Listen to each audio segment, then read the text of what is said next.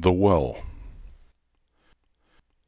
Farmer Seth Atwood was past eighty when he tried to sink that deep well by his door, with only Eb to help him bore and bore.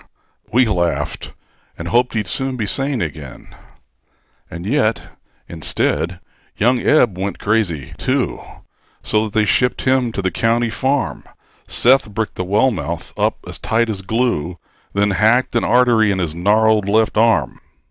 After the funeral, we felt bound to get out to that well and rip the bricks away, but all we saw were ironed handholds set down a black hole deeper than we could say.